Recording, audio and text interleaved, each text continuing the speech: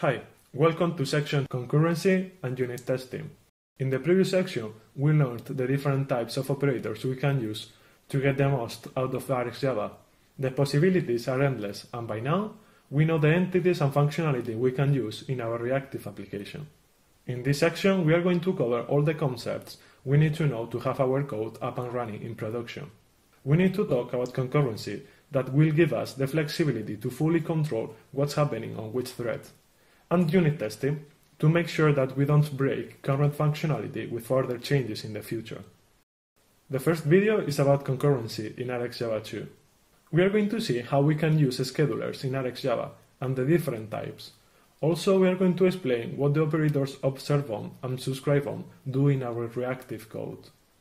By default, a publisher and the chain of operators that you apply to it will do its work and will notify its observers on the same thread on which its subscribe method is called. If you want to introduce multi-threading into your cascade of publisher operators, you can do so by instructing those operators or particular publishers to operate on particular schedulers. What schedulers we have available in RxJava? Schedulers.computation creates and returns a scheduler intended for computational work. This can be used for event loops, processing callbacks, and other computational work. It is backed by a bounded thread pool with size equal to the number of available processors. Do not perform I.O. bound work on this scheduler. Use schedulers.io instead. Schedulers.io creates and returns a scheduler intended for I.O. bound work. The implementation is backed by an executor thread pool that will grow as needed. This is for operations that don't put much load on the CPU. You would use it for non-computationally intensive tasks. For example, interaction with the file system, interaction with databases, or services on a different host. Schedulers.immediate creates and returns a scheduler that executes work immediately on the current thread. As we'll see in the next video, this is a good option for unit testing. Schedulers.newThread creates and returns a scheduler that creates a new thread for each unit of work. Subscribe on specifies the scheduler on which a publisher will operate. Instead of using the thread on which its subscribe method is called, it's going to use the one we pass as a parameter. The subscribe on operator designates which thread the observable will begin operating on, no matter at what point in the chain of operators that operator is called.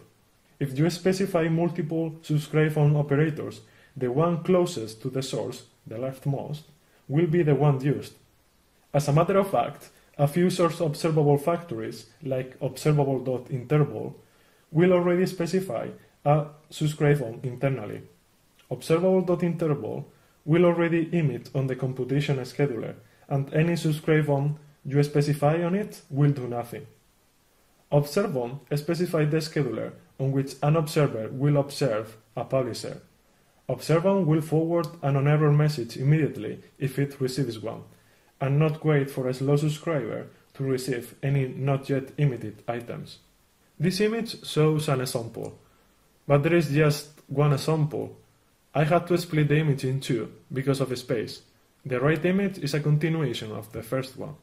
As you can see on the right image, it called subscribe on the blue thread. That means that the publisher is going to do all its operations on that thread. Observe on, on the other hand, affects the thread that the observable will use below where that operator appears. For this reason, you might call observable multiple times at various points during the chain of observable operators in order to change on which threads certain operators operate. In this example, the subscriber starts listening on the blue thread, but it called observe on the orange thread. So it's going to see the values of the publisher after the map operator on the orange thread.